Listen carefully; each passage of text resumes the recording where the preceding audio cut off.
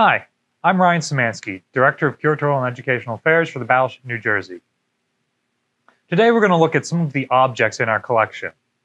Like most museums, we have far more artifacts than we're able to put out on display. So, in a couple of places throughout the ship, we have rotating exhibits. Uh, these are not the traditional style of exhibits where everything is in a glass case, uh, because we're primarily dealing with military objects, which are extremely robust. So, for brief periods of time, we can set these objects out so visitors can interact with them. These are some of the objects that we have set out in the month of March. Our theme for the month was our 1980s commission.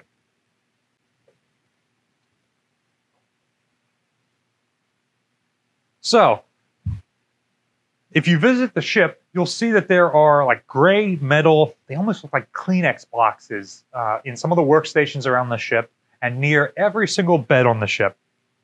These are emergency escape breathing devices, or EEBDs.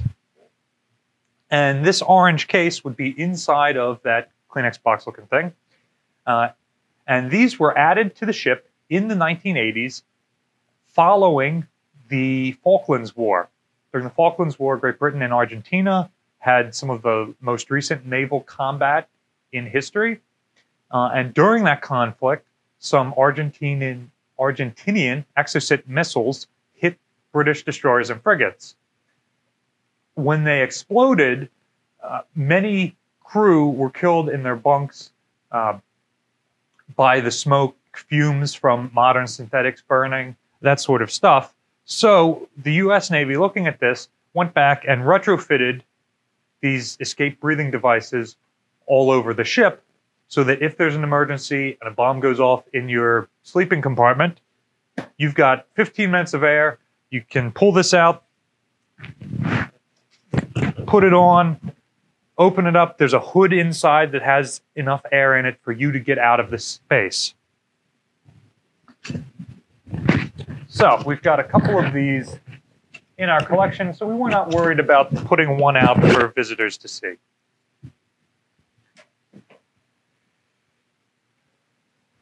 Another neat object in our collection is this t-shirt, the style of which was sold in the ship store during the 1980s. There is a new and awesome presence off the coast of Beirut this morning, the battleship New Jersey, with guns capable of flinging a Chevrolet 23 miles. This was a quote said by Bill Kurtis on the CBS Morning News, 26 September 1983, uh, while New Jersey was off of the coast of Lebanon. Another interesting 80s artifact we have here is one of the cruise books. Cruise books are extremely similar to your high school yearbook. It's got, say, pictures of individual crew members in them based on their division, and pictures of the crew doing things around the ship. Uh, also, much like a yearbook, it's got history of the ship in the beginning.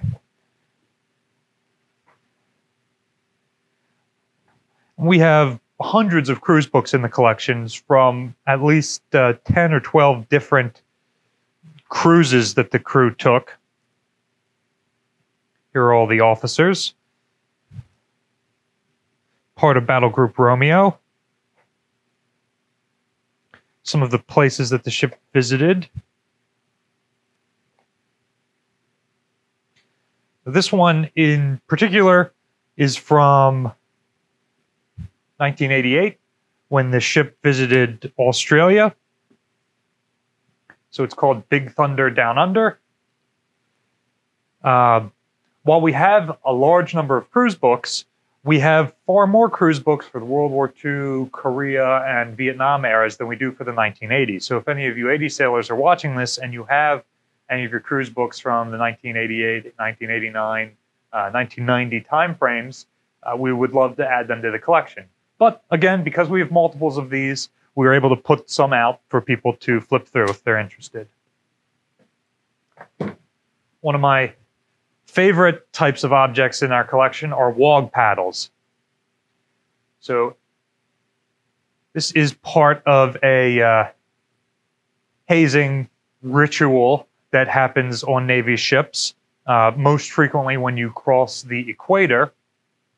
The shellbacks on the crew, the individuals who had crossed the equator before, get to haze the polywogs, the ones who have never crossed the equator. And uh, sometimes on ships like this, it is a multi day ritual. One of the things the shellbacks do is they take old uh, cut up fire hose and they make wog paddles or shillelaghs. And this is a great way to discipline your polywogs.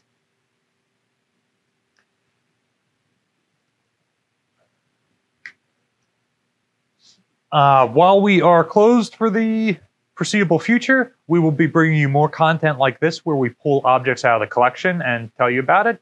And when we reopen, make sure you come back out and see some of these objects and, and uh, get some hands on time with them while you're taking your tour of the ship. Thanks for watching today. Be sure to tune in every day for additional content.